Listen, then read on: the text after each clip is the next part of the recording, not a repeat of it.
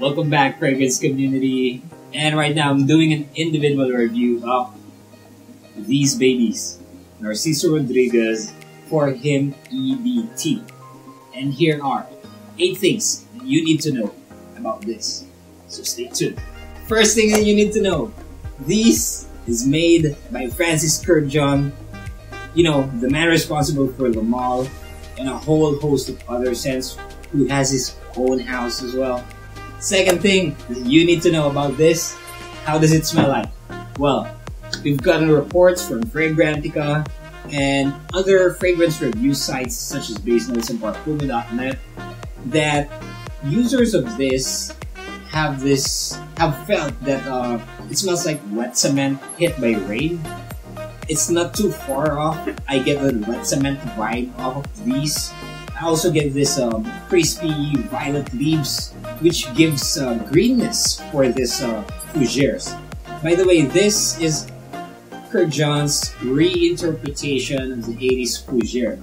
So true to its uh, true to its genre, the greenness of the violet leaves is there, the wet patchouli is there. Also, the musks that were used in this was really superb as well as the sweetness, a little sweetness of the amber at the base. So third thing that you need to know about this, the occasion, when to use this, what to wear.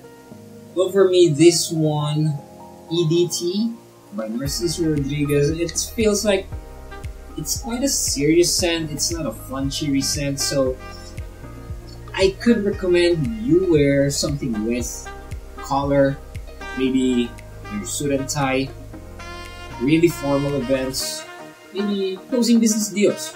This would this would smell really formal, really refined. It's I dare say that this is niche smelling. Fourth thing that you need to know about this, the price. Well, for now, as we can see in eBay or other online selling sites who has this, this is quite affordable. I mean, it's under $100 um, I got mine 100 mil here in Rustan's for like about I don't know five five, but yeah, if you could get it cheaper, let's say eighty dollars, seventy dollars. There's no reason for you not to cop this one. And I remind you, after three or four years, this is actually right now it's getting really hard to source this one. But three or four years from now, I tell you, the prices of these would shoot up. This is niche quality. This is one of the best fougères around, be it niche designer, on cheapies, drugstores, or independents. This is one of the best fougères out there and you don't want to miss it, so grab this right now. Fifth thing that you need to know about this, the projection. I love projecting. I love this sense when it projects on me. It has shall I say, vicious. It has a vicious projection. Even if I don't want to choke my office mates or, you know, my workmates with these, they still, they still smell me from afar. I mean, how's that for projection? Actually, um, my previous office mate, well, she's, she's kind of annoyed with me when I, when I go next to her uh, desk because I overpower her Bulgari perfume with this one. I literally eat her perfume with this. So for projection, I say maybe three, four, five persons from you, they could easily smell this. So how's that for projection? Sixth thing that you need to know about this, it's sillage. Well, for the sillage, it leaves a very beautiful scent trail, a fougeric scent trail. Actually, I think they could they could detect where you are, even if you're hiding, as long as you're wearing this. So, for sillage, I got no complaints. Really, really nice sillage. Seventh thing you need to know, longevity. How does this last on my freaking acidic skin? In my skin, it lasts, well, you name it, 7, 8, 9 hours. It's, I think it's sufficient for the whole uh, work day. It would suffice if I wear this on a date, or if I wear this meeting a client, I think this would suffice for that. I mean, eight, nine hours, how, how long would you want your perfume to last? I, I need to take a bath as well, right? Eighth thing you need to know about this. Am I recommending this or not?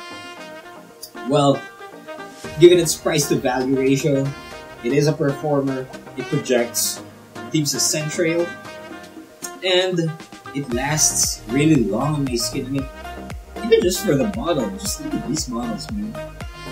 Aren't they cool? I mean, so minimalistic and so classy. And it actually interprets the scent. It's gray, it's brooding, it's cold, it's calculated. And yeah, I think there's no doubt I would definitely recommend this. As you've seen my last video, this one is on my uh, 4 for Life fragrances. Please check out that one if you haven't seen it. Is right here. So there you go. Those are the 8 things that you need to know about Narciso Rodriguez for him. I highly recommend you cop this right now. One of the best fougères in the game right now. So yeah, these are just my recommendations, opinions, and suggestions. And at the end of the day, you do you. This has been your host, Alex, and yes, I am out. I'll see you in the next episode.